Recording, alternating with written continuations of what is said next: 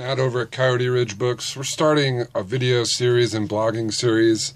Um, I wanted to talk a little bit about the love of books and really what defines a bookstore that book lovers love.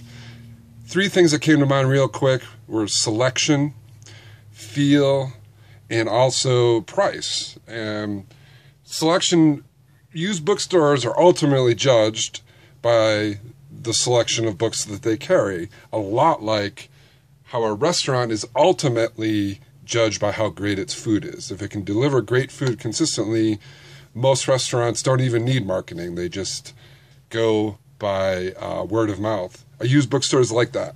So you have the feel. The feel really goes to the presentations of the books, um, presenting the books in a way that the customers uh, are comfortable with. If you have a younger audience looking for graphic novels and vinyl and CDs, you may have a little more hip, cool place. But if you're specializing like we do, more in used mysteries, used serials, in other words, books that people will read in a series, um, also textbooks and things like that, it will typically attract uh, a different audience. So and ultimately the price. No book lover walks into a bookstore and expects to pay a high price.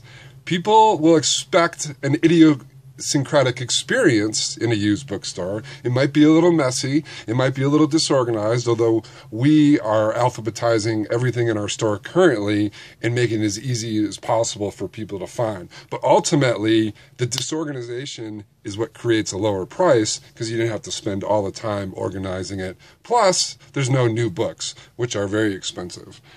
You know, the fourth thing that sort of envelops all this is the location. A great used bookstore really will absorb the best parts of its city to become better and better. Thanks.